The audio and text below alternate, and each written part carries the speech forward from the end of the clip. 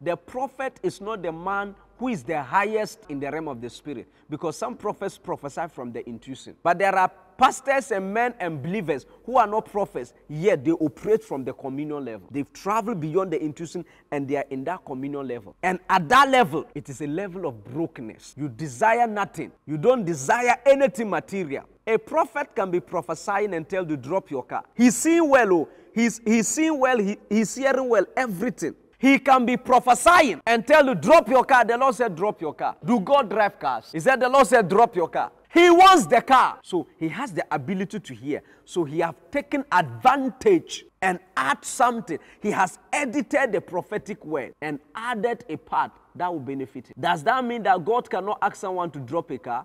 Of course, yes. God can ask I've been asked to drop many things, but many people lied. They add their own. So they've gotten your name right. They've gotten your problem. They, they tell you this and this and this. And then, but the dropping part, it can be from God, it may not be from God. He will add. So at the intuition level, you still have desire for material things. And at the intuition level, you can lie as a prophet. But at the communion level, you are broken. You cannot lie. You need nothing. All you need is God. All you want is God. Nothing but God. At that level, your desire is God. Your focus is God. So that was the level Mas Moron entered. And the Lord asked him what you wanted. And he said, More of you. Give I just want more time in your presence. Hear me well. When you travel to the communal level, you will weep for yourself. Isaiah at the intuition level. Isaiah chapter 1. Woe to you, fornicators. Isaiah chapter 2. Woe to you, adulteress. Isaiah chapter 3, chapter 4, chapter 5. He was prophesying to everybody. He was seeing for everybody. But Isaiah chapter 6, the Bible said, the year King Uzziah died, I, Isaiah, saw the Lord. That's the communal level. He was arrested inside. It was no longer about Israel or about people or about the sins of men. When he was taken into the communion dimension, he forgot about the, the sins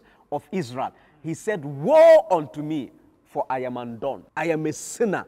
I am undone. I am a man with unclean lips. Woe unto me. And then the seraphim have to now come and even qualified him to hear and to speak to God. And after he was taught, he now heard a voice Whom shall we send? Whom shall I send? Hark! And Isaiah said, Send me, Lord. Who sent Isaiah in chapter 1? Who sent him in chapter 2? What of chapter 3 and chapter 4 and then chapter 5? He was already prophesying, but he told God in chapter 6 to send him. Isaiah, tell us who sent in the first five chapters. At the communion level, you will see God and instructions will be given, and you will not desire. Isaiah never asked for, he just wanted to be sent by God. Sent me, I'm here. Sent me, Lord. And that was the birthing of the ministry of Isaiah. Anybody can prophesy from the intuition level. But men that enter the communion dimension, when they come out, you know that they have met God. Because it's one thing to prophesy using the gift, and it's another thing to prophesy using his presence. When you know by the help of the gift, and when you know by the help of the man himself.